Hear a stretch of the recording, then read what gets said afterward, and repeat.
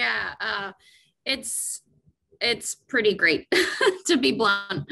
Um, the the group is uh, it really excited. Um, I think if there's there's one word overall, there's a lot of gratitude that's uh, within the group, a lot of optimism, um, but just to have the opportunity to be healthy enough, to be safe enough, um, and given the opportunity to compete, um, it's it's really everything. So it, when you look back to where we were last March, I don't know whether it feels quick or slow, um, but to think that, we're pretty much a year out from almost the last time that we were all together, um, the group has been, they've been fantastic. Um, and certainly heading out to training, I know is the highlight of my day.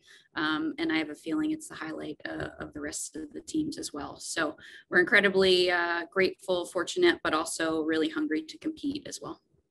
Yeah, I I think really the the team's mentality is just to concentrate on whatever our whatever our day is today, you know, and really try and be present and be where our feet are.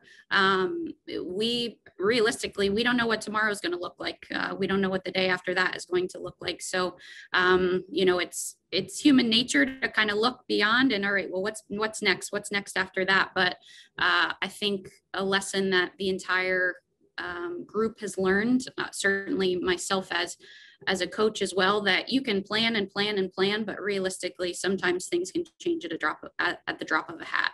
Um, so, uh, you know, no scrimmages, no no non-conference games. It is what it is. um, so we're we're thankful to to have um, the competition on Sunday, but we have a couple training sessions before we get there. So um, certainly taking it day by day and um, it does sound cliche, but really focusing on what our training environment looks like and making sure that we're bettering ourselves um, each day so that whatever happens on the weekend, um, we're prepared for it. It feels good. I honestly didn't expect it. And I know that I wouldn't be able to have ever received that award without my team and my coaches, but it feels really good. I hope I can earn that honor after season two. That's my goal. But yeah, it feels really good.